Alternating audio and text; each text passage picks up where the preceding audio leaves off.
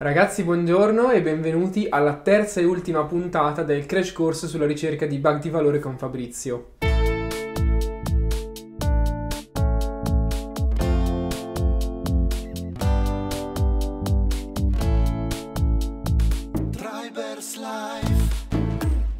Ovviamente, come ormai avrete capito, questa sì è la terza e ultima puntata, ma di questi tre piccoli episodi che sono usciti a febbraio 2024. Ce ne saranno altri che arriveranno in futuro e ci saranno anche altri coach review che arriveranno in futuro, visto che comunque so che sono modalità di video che vi sono piaciute particolarmente. Quindi non temete, non è l'ultimo episodio in assoluto. Detto questo, chiaramente se vi siete persi gli altri due vi invito ad andare a vederli qua, altrimenti io direi possiamo come sempre passare la parola a Fabrizio e vedere che cosa ha da dirci questa volta.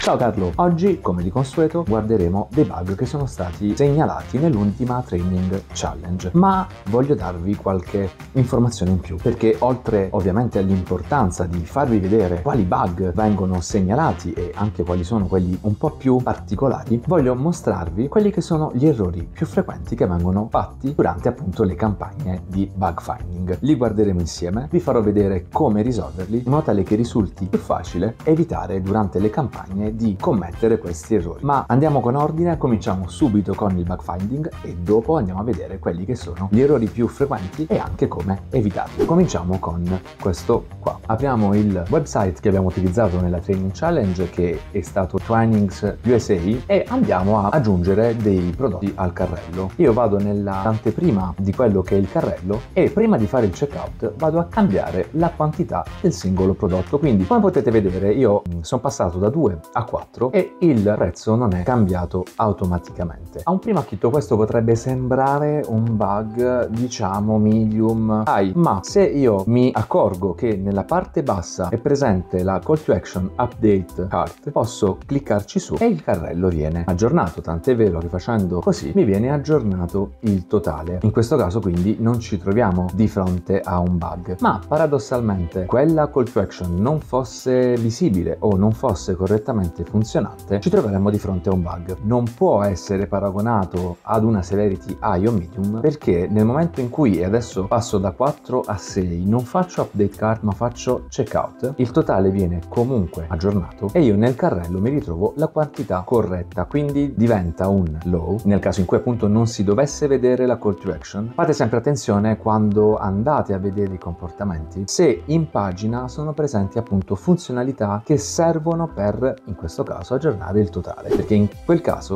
non è un bug. Adesso vediamo un altro comportamento che a primo acchito sembra appunto un bug. In questo caso vado appunto ad aggiungere un prodotto al carrello, vado avanti per eh, l'express checkout, quindi l'acquisto veloce dove è già più o meno preimpostato il metodo di pagamento da utilizzare, in questo caso proseguiamo con ShopPay e come vedete questo metodo di pagamento è legato al numero di telefono, quindi mettiamo il numero di telefono, facciamo tap su continua e come vediamo si presenta un captcha per autorizzare il pagamento. Dopodiché confermiamo il captcha e eh, viene fuori un messaggio di ShopPay unavailable, quindi l'acquisto non è possibile portarlo a termine. Ovviamente se non siamo stati attenti questo è un bug perché appunto io sto cercando di pagare un acquisto e non va avanti. Torno di pochissimo indietro visto che stiamo parlando di un minuto di video. Quando abbiamo fatto il captcha dopo l'inserimento del numero di telefono abbiamo fatto tap su continua è uscito un messaggio too many attempts please try again later. Che cosa significa? Probabilmente abbiamo provato troppe volte questo comportamento e il prodotto digitale in questo caso il website ci ha bloccato. Questo è un comportamento comportamento assolutamente lecito da parte del prodotto digitale perché per evitare azioni continue che vanno ad appesantire quello che è il lavoro del server vengono appunto limitati. Quindi sempre proseguendo con questa avventura su quella che sia la ricerca di bug che eventuali anche errori che vengono commessi durante lo svolgimento delle campagne, vediamo un altro di quelli che piace proprio soprattutto agli novizi che è giusto che facciano errori ed è giusto che partecipano alle training challenge per ricevere le correzioni su quelle che sono magari appunto gli errori più comuni. Uno fra tanti, i famosi allegati screencast e screenshot devono essere sempre presenti, almeno uno per ogni tipologia, perché devono riprendere tutta l'area visibile del device, non una porzione, tutta. Se ci troviamo su un desktop deve essere visibile la barra inferiore e la barra degli indirizzi del browser. Su uno smartphone deve essere appunto visibile tutta l'area del display. Quello che stiamo vedendo adesso è l'angolo in alto a destra del browser. Bene, per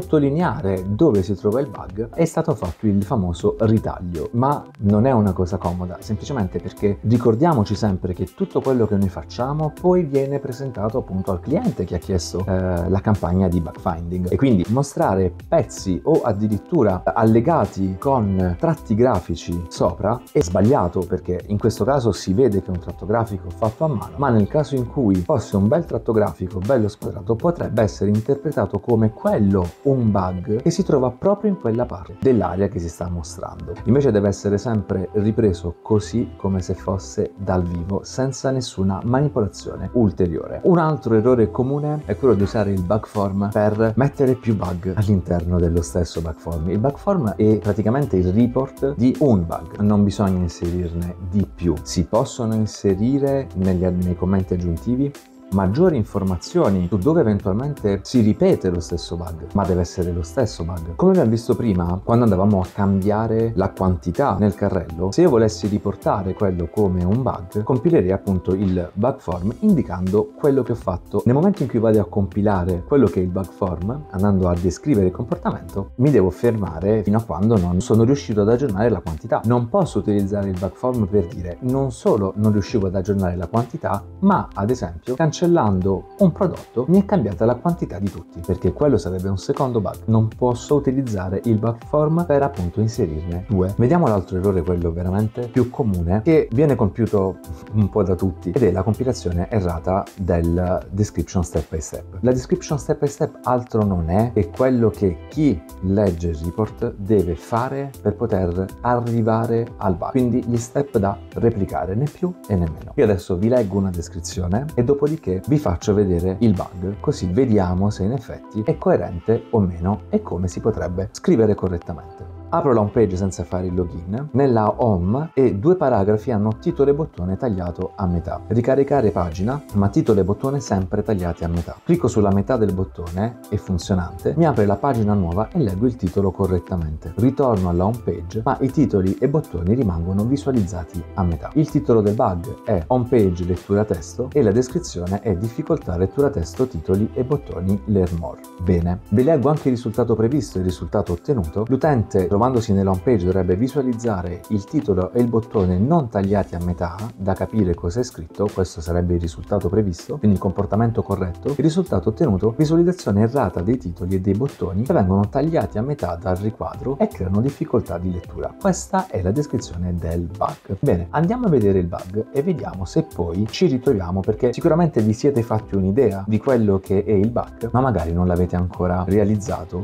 Mi trovo nella home page, faccio uno scroll down, arrivo alla pagina Welcome to Twinings dove è presente un carosello, faccio uno swipe orizzontale delle schede fino ad arrivare alla terza scheda dove noto che è presente un testo tagliato nella parte superiore e inferiore e la call to action in basso che è, le, che è difficilmente visibile. Questo è il bug, quello che vi stavo raccontando è proprio la description step by step. Il titolo sarebbe home page, quindi dove si trova il bug, si trova in home page e cos'è il bug. La terza scheda del carosello Welcome to Twinings mostra parzialmente inizialmente il testo e la call to action learn more. Questo sarebbe il titolo. Comportamento previsto, corretta visualizzazione del testo e della call to action learn more, comportamento ottenuto quindi il bug, il testo è parzialmente visibile nella parte superiore e inferiore e la call to action non si vede completamente, si vede soltanto il bordo superiore. Se proprio vogliamo essere completi, ma possiamo essere anche molto più semplici nella descrizione e quindi ancora più facile, il testo nella scheda del carosello carosello Welcome to Twinings risulta tagliato, titolo, bello, semplice e lineare, descrizione step by step, aprire l'home page, scorrere in basso fino alla sezione Welcome to Twinings, scorrere il carosello per verificare che i testi e le call to action siano visualizzati correttamente. Semplice, lineare, quello che raccontereste a chiunque per dirgli replica il bug. Tutti i testi e le call to action sono visualizzati correttamente, sarebbe il comportamento corretto, il comportamento invece del bug. Nella terza scheda il testo è tagliato e la call to action Lear More non è visibile. E possiamo anche non usare termini specifici come call to action, come swipe, come scroll down. L'importante è trasferire gli step e descrivere quello che ci aspettavamo con un comportamento normale e invece notiamo con il comportamento del bug. E un'altra cosa importante, se gli step fossero stati due, non lasciate il terzo punto, toglietelo. Idem se sono 5, aggiungete il terzo, il quarto e il quinto. Paradossalmente poteva essere soltanto apro l'home page e non si apre, quindi uno step, apro l'home page. Quindi quando compilate il bug form, con molta semplicità, ricordatevi sempre che chi leggerà quel bug form deve capire cosa avete fatto e deve capirlo ancora meglio guardando gli allegati. Non significa con questo che se mettete poche informazioni vi viene rifiutato, ma sicuramente potrebbe dare il read review e quindi vi viene chiesto ulteriore tempo per correggere quella revisione in modo tale che poi venga o approvata o rifiutata perché magari appunto il driver leader non ha compreso l'ambito e quindi ha bisogno di ulteriori informazioni. Grazie Fabrizio di tutto il tuo contributo sia in questa puntata che nelle altre due ancora una volta. Come sempre ragazzi se volete aggiungere qualcosa, richiedere chiarimenti, fare domande, quello che volete lasciatemi un commento, è la via più veloce e verranno poi mandati Fabrizio che risponderà a me ed io inoltrerò la risposta a voi. Io ragazzi spero che vi sia piaciuto tanto quanto gli altri crash course che avevamo fatto, quindi mi raccomando iscrivetevi al canale così da non perderveli e soprattutto da non perdere anche i prossimi video che arriveranno nelle prossime settimane. Per ora direi che possiamo fermarci qua e quindi direi alla prossima settimana.